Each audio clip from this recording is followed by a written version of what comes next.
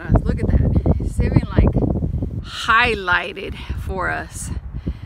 This, that rock right there that the sun is hitting, that's the one. That's my goal. I used to do this so easy.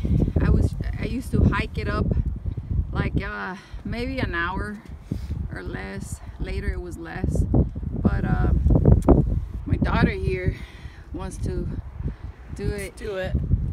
She says she's up for it. It's it's shining for us. And there. we're not so bad up here where we came. This is the Saguaro National Park, the west side. This is my favorite place. Favorite place in Tucson. I kid you not, I get so connected here. It's just amazing the connection you get. Especially when you get all the nice clouds. I don't know if they're manipulated or not. It's just a beautiful sight. The sun. Just everything here. Depending on the time of the year, you will get to see some beautiful birds.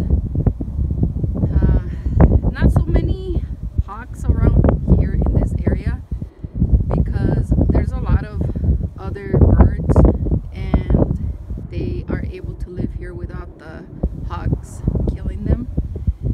So The what? eh, you shouldn't come here when it's like really hot because of the rattlesnakes.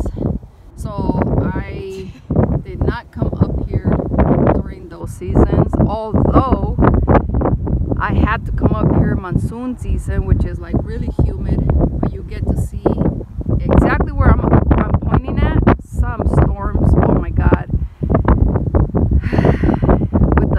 the sunset and the storms, it's just beautiful over here.